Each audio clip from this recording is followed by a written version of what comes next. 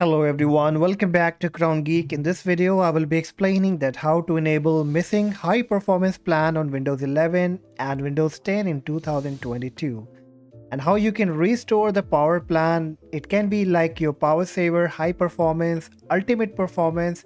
So if you're missing any performance plan, then you can just bring it back by one single command. So right now, if I go in, click on the search box and type a command that is power cfg.cpl, a shortcut to open your power plan.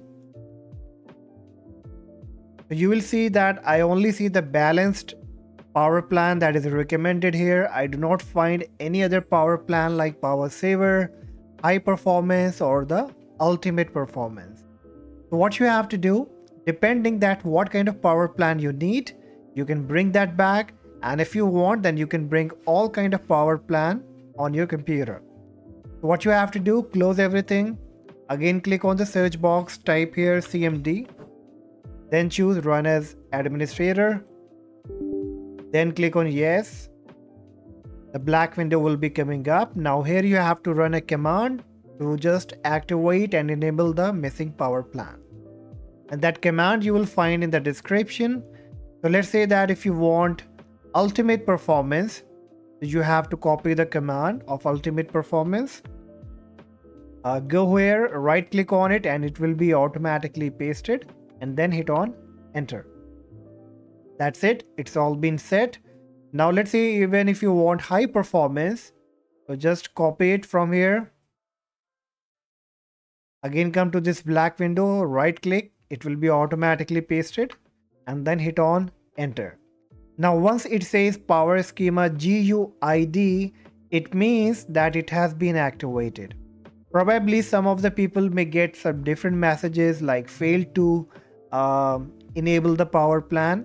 So for that, if you are having trouble with the high performance or any specific plan, and if you're not able to generate it, then what else you can do? I will be sharing a link again in the description.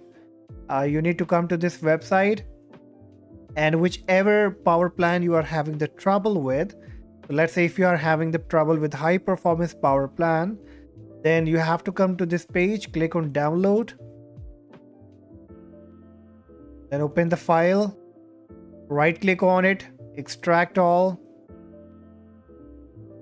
Once extracted just follow the instruction right click on it and choose copy as path.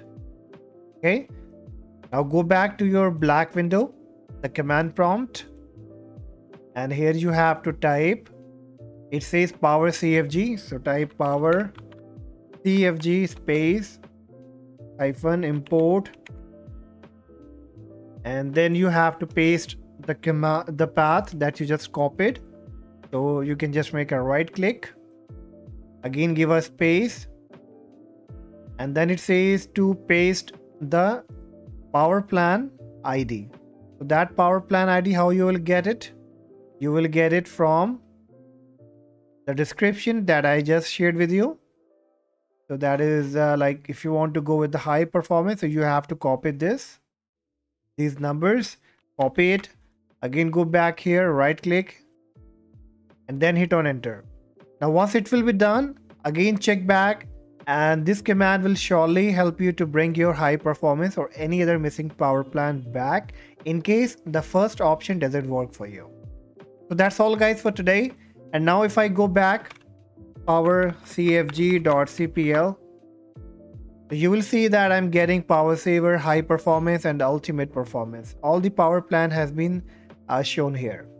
So this is how you can bring it back because I saw many people asking that the high performance is still not coming up with this command.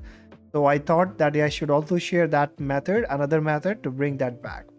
Still, if you have any question, any problem, let me know in the comment section. And if this worked for you, please consider subscribing to the channel, like the video. And I see you in the next video. Bye-bye.